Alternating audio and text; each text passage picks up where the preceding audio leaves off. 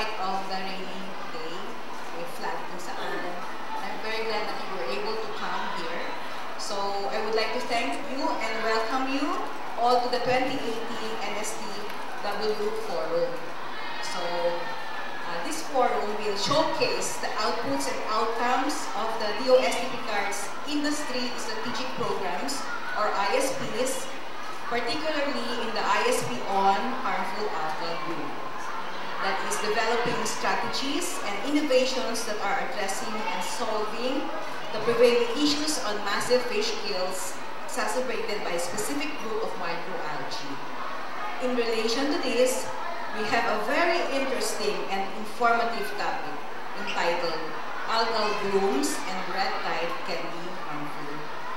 So I would also like to take the opportunity to express Picard's gratitude our speaker, the Dr. Rodora Villasansa, that despite her very busy schedule, and she's of course, you know, uh, hindi pa sa nakakala, Professor Emeritus of UP uh, Diliman, the Business ng Diliman, and also the new president of the National Academy for Science and Technology. So let's give, her a nom. So, being your Vice President, and finds time to be with us today. She will, uh, and uh, this morning, to provide us with a very informative and enlightening discussion, presentation in this forum. I am sure that everyone will be learning something new um, and acquire knowledge on the importance of algae, specifically on the risks and hazards of harmful algal bloom, as well as some future plans to manage this phenomenon. And uh, also, may exhibits tayo dito sa likod, ano? Hanggang 10 o'clock lang yan. So, grab this opportunity. So, uh, very rainy scene yan natin, ano? So, kung pwede, uh, can, later on, if we still have time, we can still view them.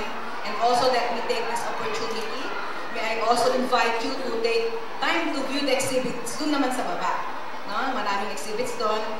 Where for, from the marine uh, resources sector, we are featuring the Philippine Rice program, yung R&D. So we have us mga scientists here na involved dun sa Philippine Rice Expo, uh, or the Benham, no? Ben, Philippine Benham Rice ano, uh, uh, exploration. So we have here like scientist in the person of uh, Dr. Nacorda is here in person. And Alan Tinigas is here. Dr. Jacinto. Uh, nandito sila in person. So, mga students, mga ano natin, no? mga galing nating scientists, they're here in person. And of course, we have also the lead person uh, as part of the Northern Command who facilitated or, or coordinated yung Philippine Rice uh, exploration ng ano nung May 2018. Uh, yeah, this just this May we have Major Aguilar. Uh, ay Captain. Captain Aguilar here. No? So, nandito din ang representative natin ng IOC, National uh, um, National hindi, pero na, ating national ano uh, oh, ito pasensya na intergovernment, intergovernment Commission. Sorry, Siya na excited kasi, yan. So, meron tayong from BIFAR. And then mag-rundown kami. Anyway, I was so excited to see our scientists to be here. No? Meron tayong from the regions. But later, sorry for hindi ko na na-mention ngayon. Pero I would like to inform na yung mga scientists natin. Seasoned scientists. So, very exciting ako na uh, since nag-ano ako from the, ano tawag dito? Yung grow up in the government uh, force, I have been, ano, I've known them and I've also worked with them coordinating yung mga projects na ini-implement nila. No? So nakita ko talaga na maganda, magaling no? ng outputs ng mga ano nila, ng mga program nila. And annually, we have this forum and this time we are on harmful algal. So, uh, thank you very much and uh, good day to all. Uh,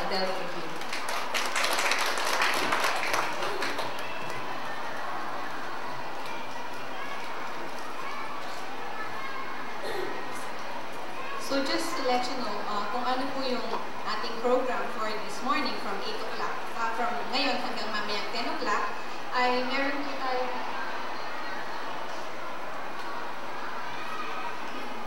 After po the opening will be the talk of our speaker to be followed by the open forum or the question and answer portion and then the uh, closing and awarding of the certificate of appreciation after which meron po tayong uh, book signing wherein yung ating pong author ay magsasign siya ng ilang books para din sa mga makakatanggap nito.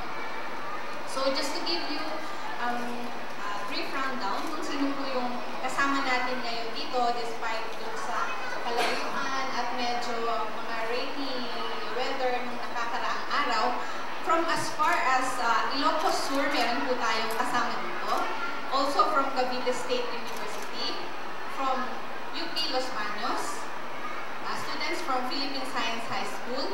Meron din po tayong kasama from the Bureau of Fisheries and Aquatic Resources, sa TAPI po ng DOST, uh, UP Marine Science, as mentioned by Dr. Asanera, yung ating mga scientists from the Marine Science Institute of UP Diliman, also from the North Luzon Command, UNESCO, UP Visayas, uh, DOSMI Maropa, University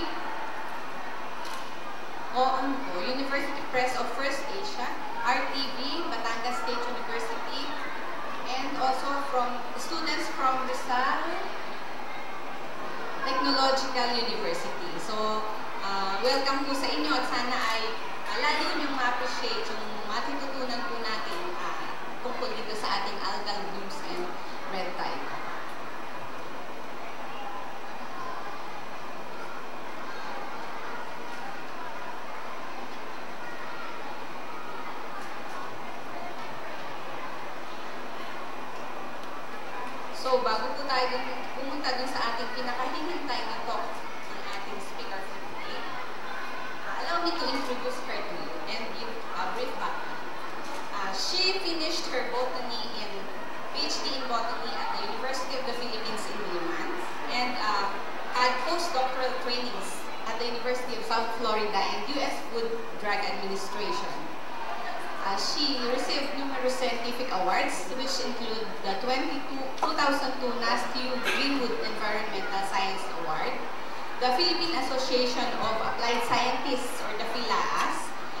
Gregorio Zara Award, the NSTW 2014 uh, Julian Banson Medal for Outstanding Research and Development Award. She was also conferred uh, the UPAA or the U UP Alumni Association Lifetime Distinguished Achievement Award in Environmental Science. And in 2015, she was given the 2015 Pantas Award for Most Outstanding uh, Researcher Scientist by. Uh, she authored more than 70 international journal articles, book chapters, and books. And she even extended her expertise to government agencies and international organizations including concurrently being chair, vice chairman of the UNESCO Intergovernmental Oceanographic Commission, panel on harmful algal blooms, and leader of IOC's Harmful Algal Blooms in Southeast Asia portal. She coordinated the ASEAN Red Tide Network for more than 10 years And as mentioned uh, earlier by my boss, uh, she is now a professor emeritus of the University of the Philippines. And she also served uh, uh, in various positions at the UP system. She's the first woman dean of the College of Science in 2000 to 2006. And uh, she became an, she was the immediate past assistant vice president for academic affairs and director of the Office of International Linkages at the University of the Philippines system. So it's my honor and privilege to give you now our speaker, none other than Dr. Rodora V. Asanza.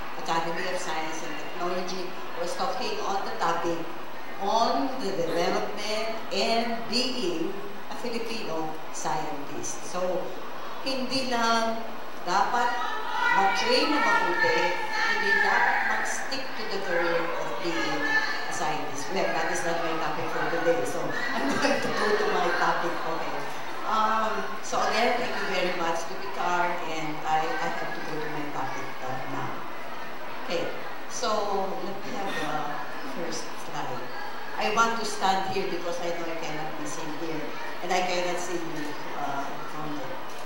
Okay, so can, we have first slide?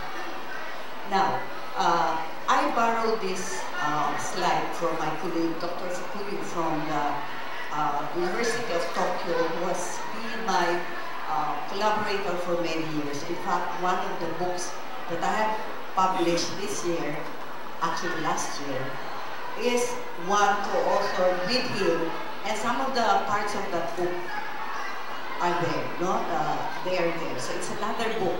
It's really very technical, so I did not bring it here, the cop- a copy of the book here. There's another book that we're going to show you later.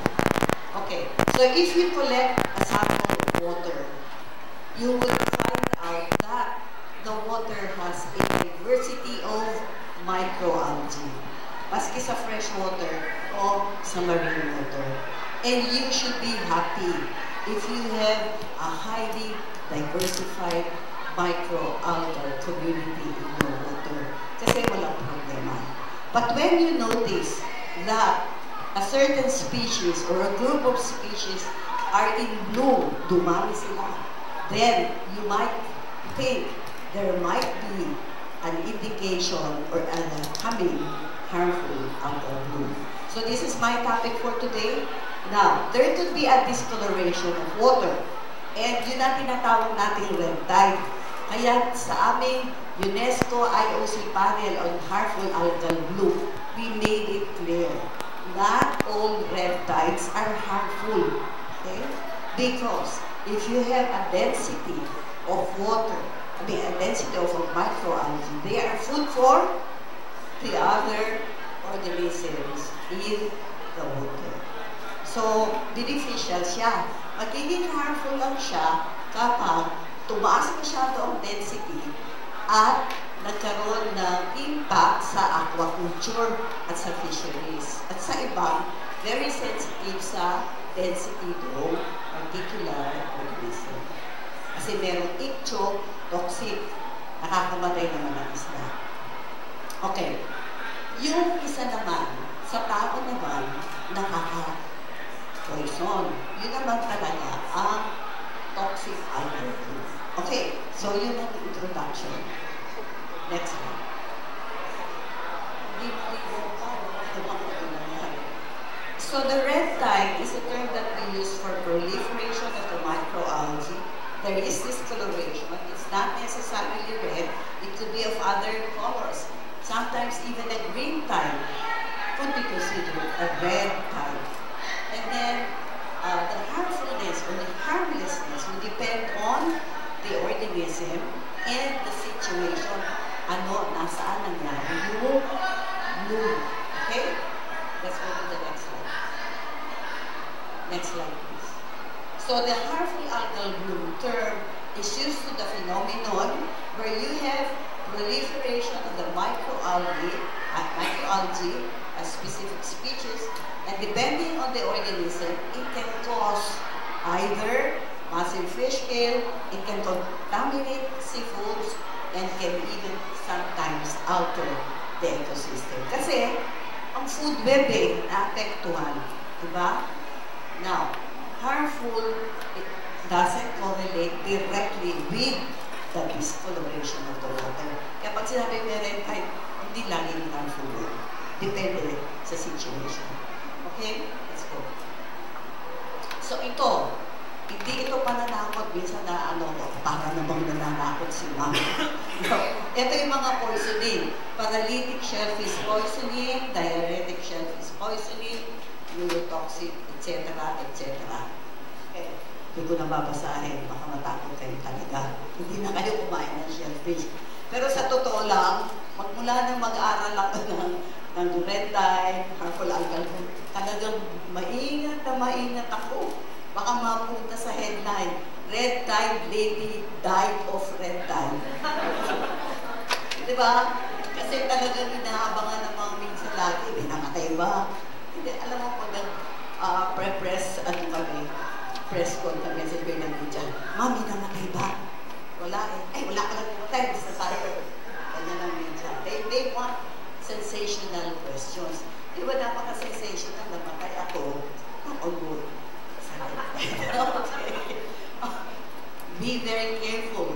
Pakinig kayo sa BIFAR. Pag sinabi ng BIFAR, don't harvest, don't buy, don't eat. Sigurado na sila. Matagal na nila ginagawa yan. Okay? Now, I will focus on three types, not really go into the deeper part of it. I will talk about PSP, a little on uh, Cicotera fish poisoning, and some on fish kills. Okay? Now, let's go to the next slide.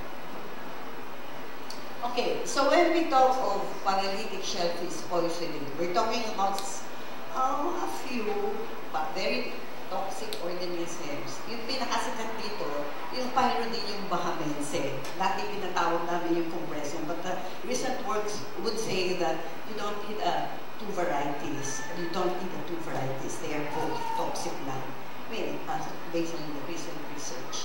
So, and based on some other uh, work on the morphology of the organism. Now, the other organism is Geolydium cavinatum, an Alexandrian species. So you can see the, the better picture of them, mga close-up look of the organisms, even using confocal laser scanning microscope. Sa buong Pilipinas, MSI, MSI lang meron nun, pagkayabang ko, na-hold up ko si Secretary Alabasco. Katulong siya, ano, kami, ikaw yung ano namin, ano, sabi sa akin ni Secretary Alabasco, Rod, use mo, yung malaki,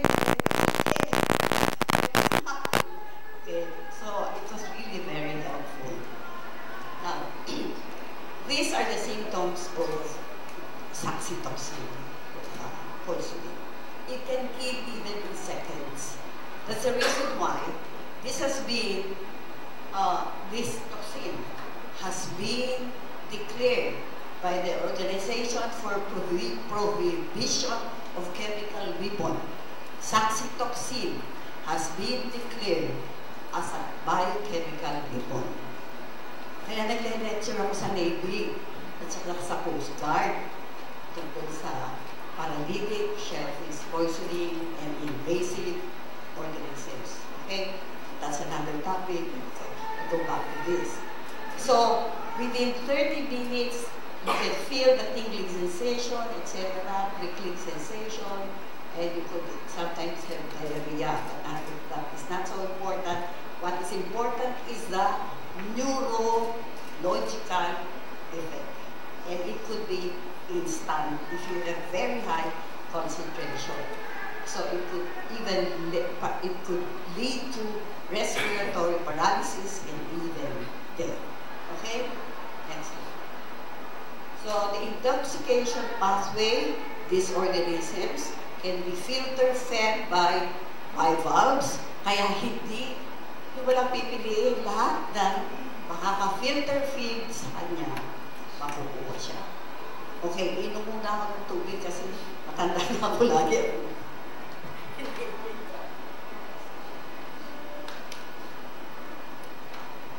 Okay. Pag na-filter feed siya, pwede siyang maka ma-consume ng iba, no? ng tao. Ngayon, yung mga mammals, yung mga ibang ibang organism, hindi, nakaka-filter feed sa tubig. So, yan hindi sila naapektuhan. Pero based on some studies, yung amnesic shellfish poisoning ng iba, naapektuhan daw ang mammals. Okay, so, uh, if you are very interested in that, you can further read on the topic, no? how mammals are affected. The other mammals in the marine environment are affected. Next. Okay.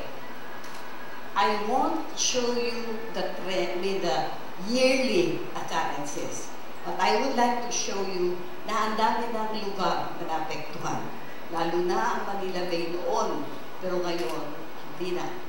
I'd like to show you also that uh, be- because of the improved management supported by research, ang naman, ang poisoning ay bumaba. Okay? So, the Bureau of Fisheries and Aquatic Resources, which is managing the phenomenon, meaning sila nagsasabi, hindi dapat magano, hindi dapat mag-connecta, and so on and so forth. They are the ones managing. So, you have shellfish bulletins, um, that red tide bulletins ang tawag doon. Okay? Yun ang trend lang. Dumadami ang lugar, pero ang poisoning, kumukunti. Nagkakaroon lang ng poisoning kapag yung lugar na yun, eh hindi pa naka-experience ng red tide, ito tawagin. Okay, pero kung dati na namomonitor, hopefully, they have learned from the experience and they can manage the, the phenomenon well. Pero minsan meron pa rin problema. Okay, next lang. Okay, merong mga shellfish bulletin, sinasabi, meron sa Puerto Princesa, meron sa Masbate, sa Biliran, sa Bohol, yan ang mga bago. Bohol.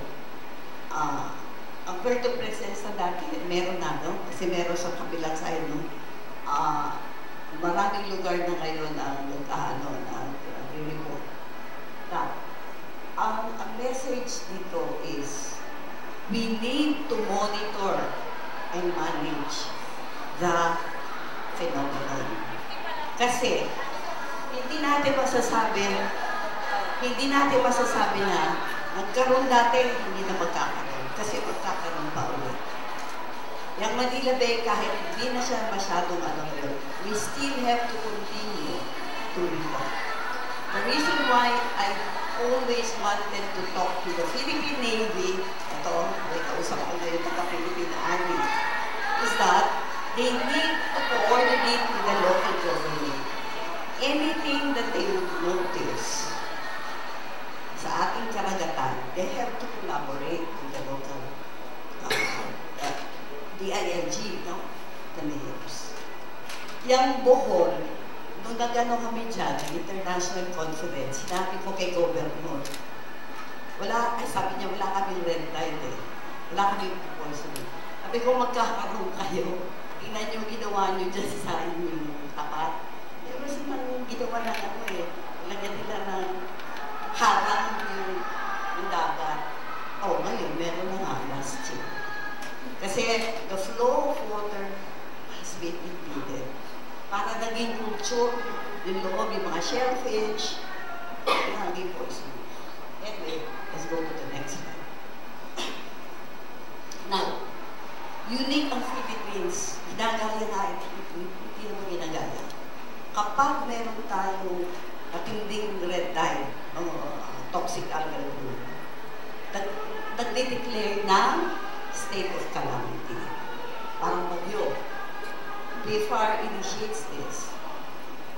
We, in that book, nag-summarize kami yung mga lugar na na-declare na na state of calamity in the past. Like for example, eight areas in Bataan, seven areas in Batangas, uh, one area in Cavite, and then in the Visayas and Luzon.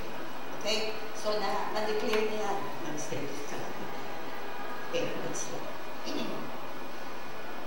Now, ito din book na ito na ipapakita mamaya, sinamahan namin ng socio-economic analysis. Kasi uh, previously, ang nire-report lang yung economic impact, magkano na na-ibenta, and so on and so forth.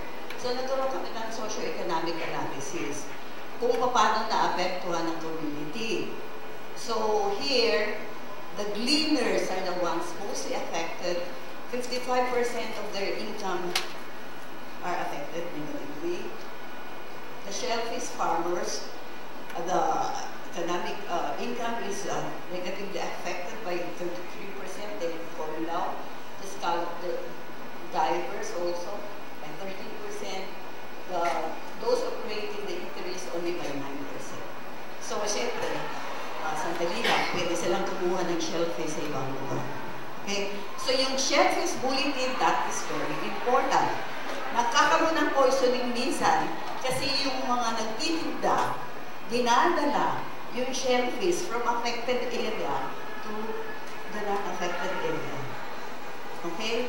So, ganun na nangyayari. And then siya.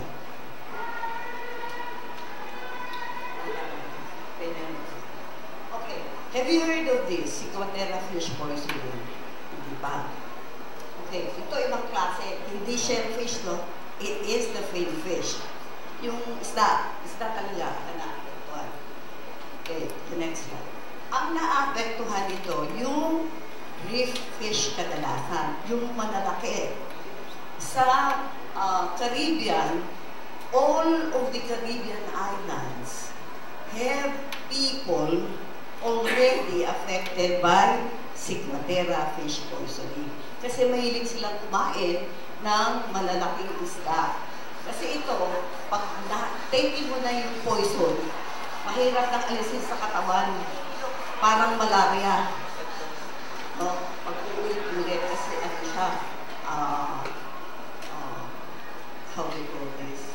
Part na ng ano, fat cells mo. Okay? So, mag magpapakita pa minsan-minsan yung indication, fat-loving uh, toxin. So, ito, nagkaroon ng, sa Palawan, nagkaroon ng red tide. Ito, nagre-red tide ito. Okay. Ay, nawala. Okay. So, the organism, the organism causing this is uh, Cochlodidium uh, polycricoides.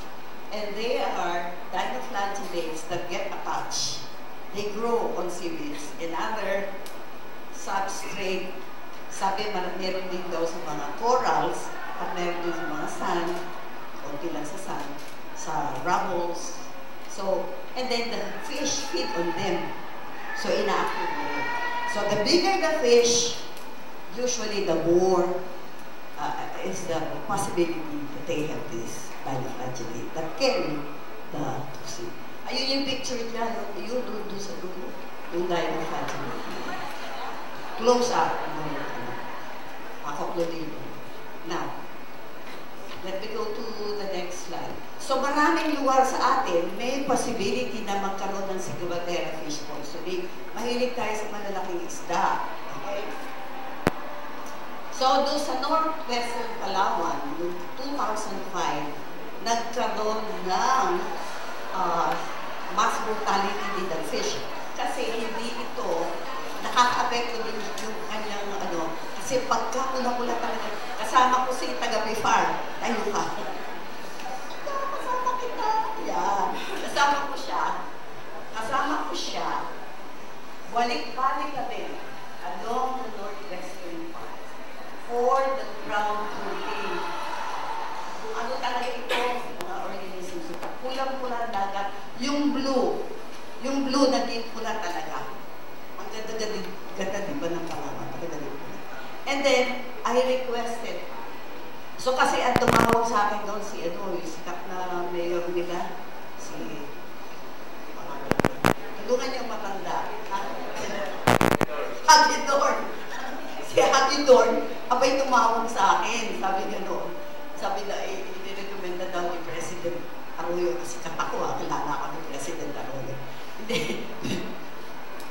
I think the President was well aware of the problems sabi si Hagidorn daw, pinatawag, sa Hagidorn, contact MSI, Dr.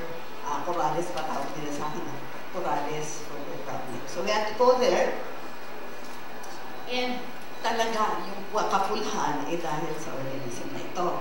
Okay. I requested my colleague, uh, Dr. Uh, Laura David, Al Alvin, ano ka ba? Yeah. And Alvin was helping to get uh, satellite images para ano namin sa galing. Kasi I had a feeling it was not from our seas.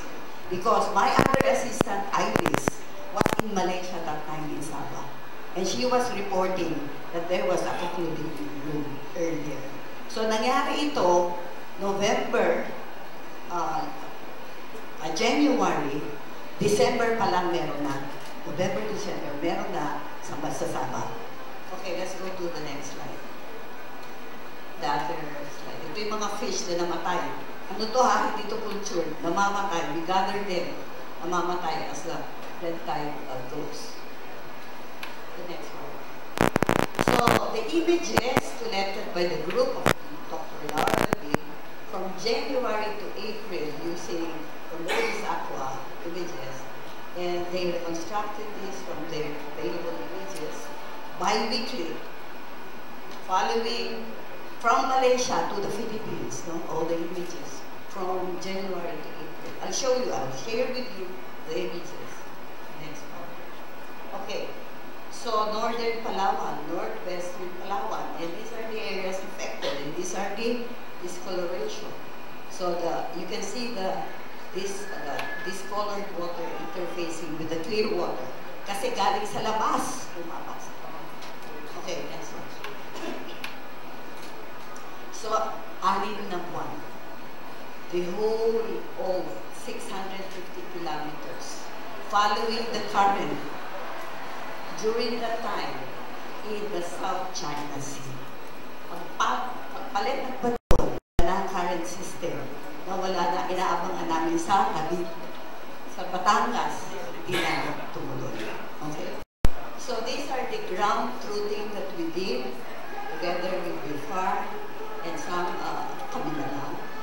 with some people from Palawan. So let's see the the satellite images. So these are the satellite images. So it's really coming from Malaysia. Going up, going up, ayun, and going up, and up. And then hindi na tumuloy. Okay. Okay. No. Now, I'll tell you another story. Pag umattend kayo ng conference, no, tulad ng Hub International Conference, magkakasunod yung presentation nyo. Nauna sa akin yung Malaysia. Magandang story. Kami ng Malaysia, we had a coclodium bloom. And we have this um, hypothesis that the coclodium bloom originated from the Philippines. Eh, di tatawa-tawa na lang ako. And then I was on the next speaker. I said, Uh, I'm talking about the Coclodidium bloom in the Philippines that occurred right after uh, the one that happened in the Philippines.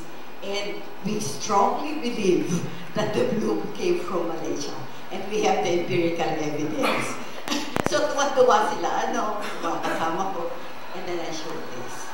So ang, ang message dyan, if you have something to present or to write about, hanapin niyo pa paano niyo talaga siya maiintindihan at mapapresent. That's the reason I really thought that I wanted to have a collaboration with the group of Dr. David. And it was a good presentation, and it was a good publication. We published this, The Harmful Auntie, uh, which is a good journal uh, publication. So the next one.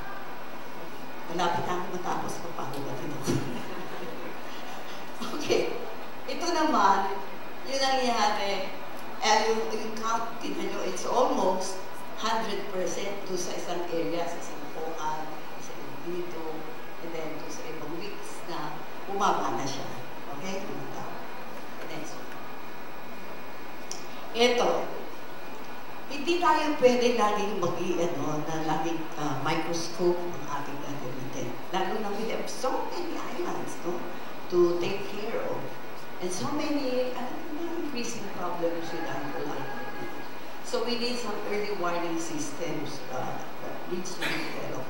In fact, it's not only the Philippines developing it, uh, the region, the entire world are one cooperating with each other to have the early warning system for, for this phenomenon. The next one. Okay, this is the work of ALERT.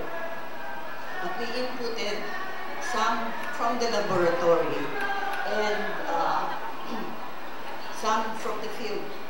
So ito, ang mga pinapakita dyan, yun yung mga baby, baby barilium, yung mga seeds. Okay? Kasi pag magkaroon ng bloom, maiiwan yung mga seeds, mga cyst. Okay? And these are the areas where you found them uh, in heavy concentration.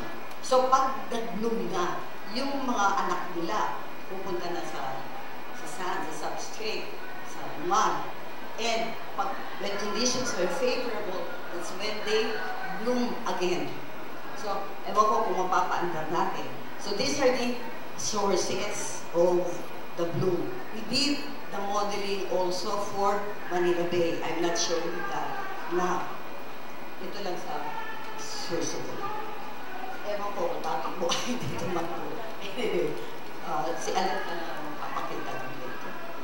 Now, this is a work in progress. I present not only ano, the ALET kay uh, several fora, international and local. And this is the idea. We want to have near real-time monitoring, and as much as possible, near real-time management advances. No? Para ma-prevent uh, natin ang, uh, ang poisoning and other problems. So there would be some remote sensing data, you would have biophysical models that would be used for the general warning. It will be uh, done in collaboration with the Bureau of Fisheries and Aquatic Resources, and this will be given to the local government units. Now, we're also developing some uh,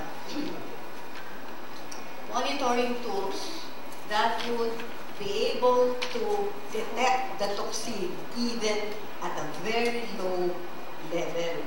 So this is the, uh, the we call it bio, biological absorption tracking at the bat, biotoxin, bat tawag BAT, no? Biotoxin uh, absorbing tracking. Okay, kasi yung ad ad absorbent na i kaya niya i-absorb yung toxin na kagad. Okay? So, mas konting-konti pa lang, matidetect na. Pinapakita ko kanina kaya sa assistant ko, meron palang mga available nanomaterials that we can try and use this in the field, no? for tracking toxin at a very low level. So again, I'm at the young scientist here. If you are interested, you can do that in my lab. Okay? We can use these nanomaterials kasi pumupunta lagi sa lab namin, extracts from a certain plant, nano na kagad para diretsong toxin. Oh, let's do it. Nano clays, whatever. If you're interested. So, ginagawa ito ngayon, no? Okay, let's go. Pero this is the system wherein hazards and risk related to biotoxin can be, alapit ako, hindi ko makita. So, th- there should be a hazard assessment per region or per local community. And then, uh, you should have field and laboratory or observation and analysis. You can make use, you should make use of all the available uh, results of R&D. You can uh, make use of local materials and international materials. Then you need to, after this, you have to have the risk assessment this time. You have to consider the local community kasi magkakaroon lang ng risk kung merong mga taong uh, at, at risk and also the other um, materials that could be at risk, even other organisms. And then, you mo- mo- minomodel lahat, ano? And then, when you model lahat na magkakasama, and then you need to have a risk management, and then you need, in that risk management, the components would be your characterization, and so on. And so on. Okay? Uh,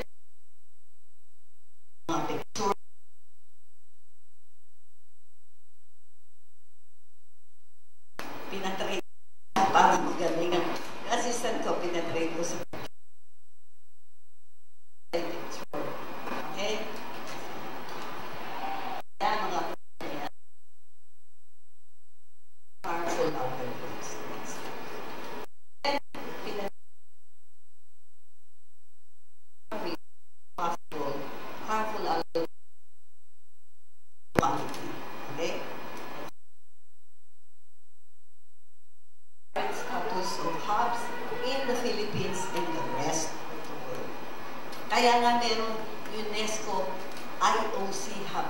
Eh, Munti akong maging presidente, sabi ko, ayoko, a chairman kasi di na ko ng College of Science no. I can be the vice chair, but I don't want to be the chair. Kasi mali. Okay, so, yun yung mahal na mahal naming laser scanning uh, ele- electron microscope. Ah, laser na nga, electron pa.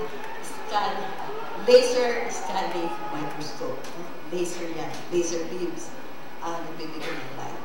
So, uh, there's a section in that. Next. So, these are the people, umayag sila ha, may consent ito.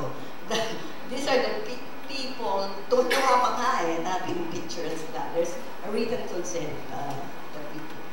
How are the Filipino livelihoods affected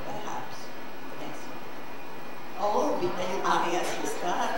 for life ko siya naging assistant. Batang-bata ko pa, naging, batang-bata ko pa yan naging assistant. No?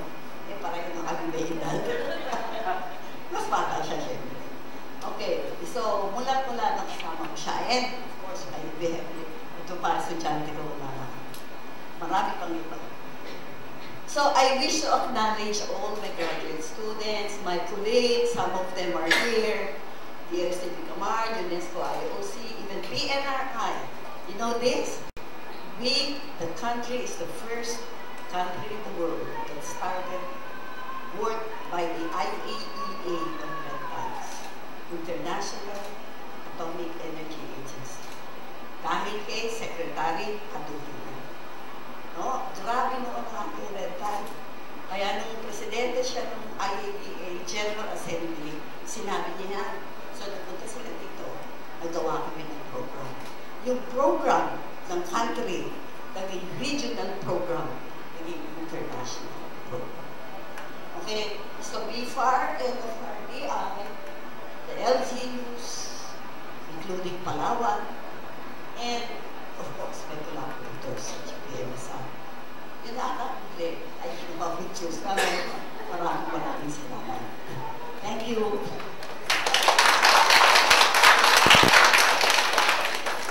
So maraming salamat po, Ma'am Rod, sa inyong ah, ibinahagi ng mga experiences nyo at results ng inyong research and ah, lastly sa uh, in, in-launch nyo na book When the Blue Sea Turns Red.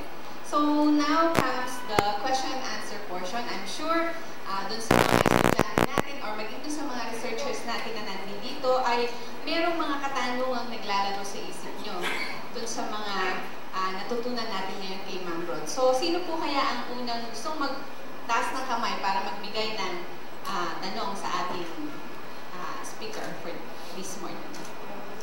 Any, sige po, ma'am. Meron, kindly say your name po and ah, your affiliation. Good morning. I'm Arlene Villanosa from Eastern Philippines University sa Palawan. Uh, question ko lang, actually this is just a clarification ma'am. Yung data po ba sa Northern Palawan, which is particularly sa El Nido, are you referring to the inner Manampaya Sound?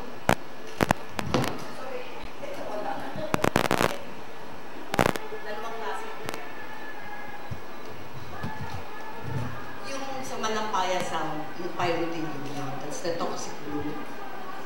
Yun ang lagi namin Malampaya. Uh, in fact, we had a training there. Uh, Dr. Jacinto was with me. Uh, wala yung iba kasi medyo matagal na yun. Uh, of course, Rita was with us. We had a training for Palawan for harmful algal blooms. So we did that for Malampaya. Malampaya Sound. Okay? Because I think even up to now, we still have a problem on pyrothene blooms and ones. But the one I showed you, wherein the red tide was going from Malaysia, going up to the northwestern side, was El Nido. Yan yung may concluded yung, kaya shock na shock sila. So, binigyan ko na ng, after we had the ground truthing, I said, everything is clear. You can do the swimming, you can eat the shellfish, because they are not affected by the red tide. If you have to be careful with, what you have to be careful with are the fin fish, the big fish, because this, this could be uh, affected by some uh, bacteria or whatever na dahil sa intense density of the cocludidium na matay or whatever. So, ang cocludidium, hindi nakaka-apekto sa tao. Pwede makakos ng fish kill. Okay? Yan. Okay. Wala ka po dito. Kasi nervous system, yung problem sa inner Manampaya Sound. Oo, alam ko. Kaya uh, we're going to have an international conference in Palawan next year. Kaya I'm asking your help sa pagkumakan. Okay, so the other people in the world are quite excited that we will have an international conference in Palawan. Okay. So, yun po, o, narinig nyo, no? Merong international conference din naman next year sa Palawan po yun. So, Okay. Any other questions pa po? From the students, meron ba? Ah, sige po, next question. Nag-iisip pa na yung mga ating mga estudyante. Ating mga future scientists.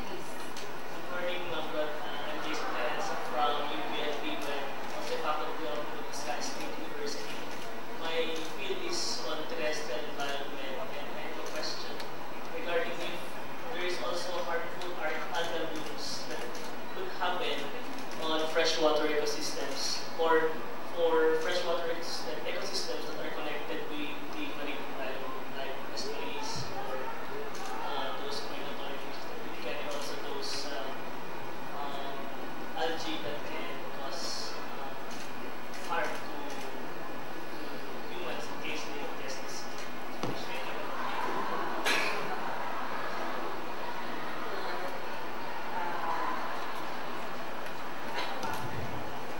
Okay, thank you for the question. So, the Intergovernmental Oceanographic Commission panel on harmful algal concentrate on phenomena that are happening in the marine environment. But we also consider those happening in freshwater areas, and there are those that are toxic uh, not really, mostly toxic to the other organisms in the area and can cause some uh, lack of oxygen or anoxia or hypoxia in the area. Like I know the the main prop one of the main problems in in Laguna Lake is the uh, the fact that uh, lack of oxygen is exacerbated by some algal blooms. Uh, collapse of certain al al microalgae. Okay? So usually, mga cyanobacteria uh, ang nagiging problema. Mga blue-green algae, and they are the ones causing problems. I think, uh, again, I'm encouraging the HEIs, the HUCs, to do some work. Kasi yung iba nakakalasan sa umiinom ng tubig, yung mga farm animals no? Sa Australia, sa New Zealand, and other developed countries, they do harmful algal bloom studies even in fresh water areas because the farming of animals are affected. Okay? So, another area for research. Next question po natin from the students, from the researchers. Ah, sige po, another question.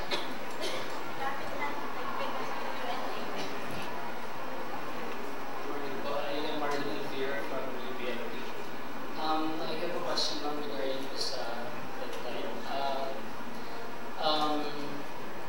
po.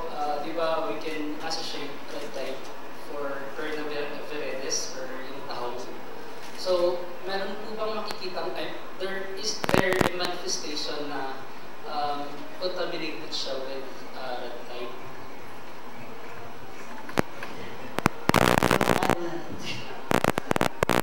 Kung mali ako, sagot sabihin niyo mali ako. Kung wala, mukha pang mapupula sila, ang saya-saya nila, dahil kasi marami silang pagkain. Kaya they, you really, you really have to test whether the toxins are there.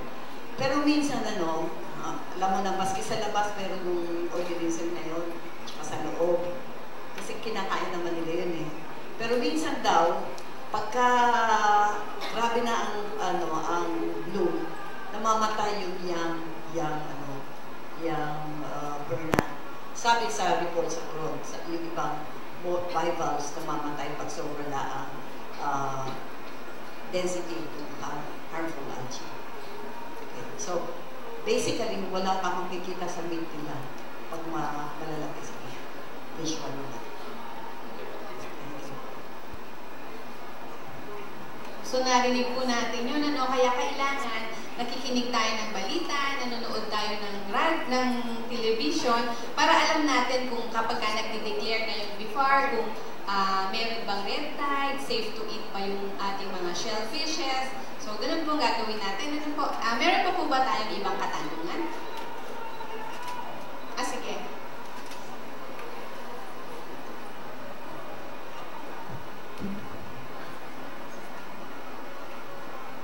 I work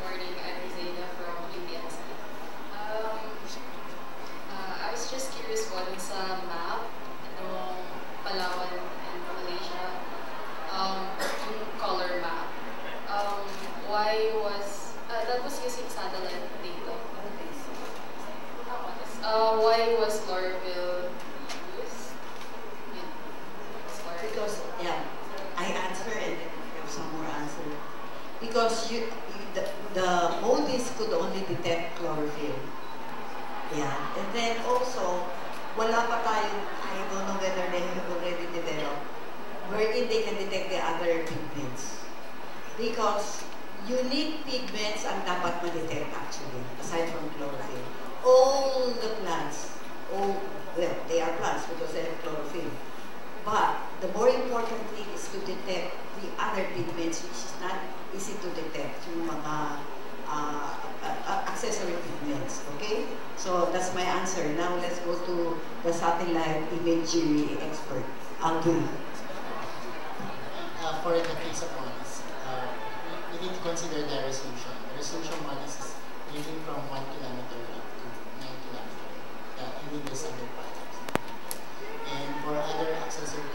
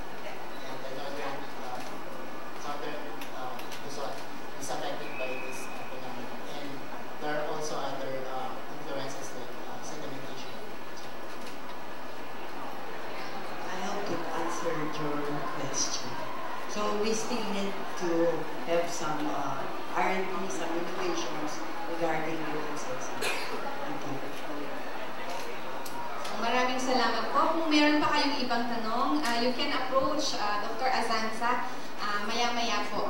Uh, at this point, um, witness, uh, la- la- sana po ay mag-witness kayo with us para dun